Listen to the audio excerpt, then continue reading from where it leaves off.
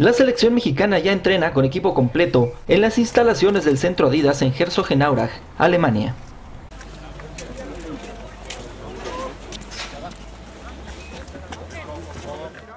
Rafa Márquez, Guille Franco y Jonathan Dos Santos se integran lentamente al ritmo.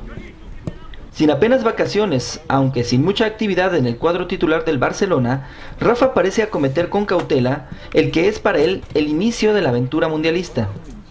¿Estará pensando ya en su futuro, que parece estar en Inglaterra? No es así el caso de Giovanni Dos Santos, a quien se le nota de lejos lo contento que está por integrarse al equipo y platicar en su idioma natal.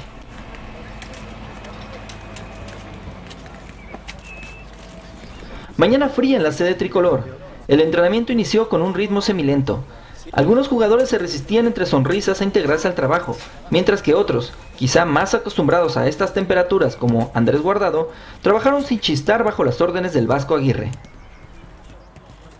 Ahora sí, completo. El tricolor inició en Herzogenaurach, Alemania, la fase final de la misión que culminará en Sudáfrica, en busca del quinto partido.